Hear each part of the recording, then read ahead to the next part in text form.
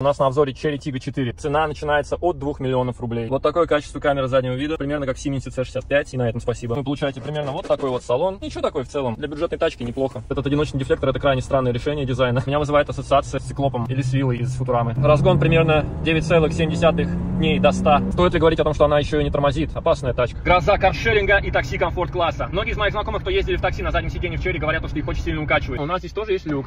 Счастье-то какое! Что такое 2 миллиона рублей для России в нынешнее время? Это примерно 40 зарплат учителя средней школы в Москве или 80 зарплат учителя средней школы в регионах. Или примерно 20 баксов. Ее впаривают как доступную бюджетную машину начального уровня, но это неправда. Она бюджетна только по материалам, по каким-то показателям. В ней полуторалитровый движок, она никуда не едет, она не рулится, не тормозит, она ужасна с точки зрения кинематики. Я абсолютно не уверен насчет насчет ее безопасности и не уверен насчет ее долговечности. Да, китайцы дают сейчас огромную гарантию на эти тачки, в себя поверили. Но это не значит, что она не будет вам всю голову за эти пять лет. Офигенная тачка, сказал бы я, если бы мне за это занесли черри, или если бы у меня не было вкуса. Ну вот, уже совсем другое дело.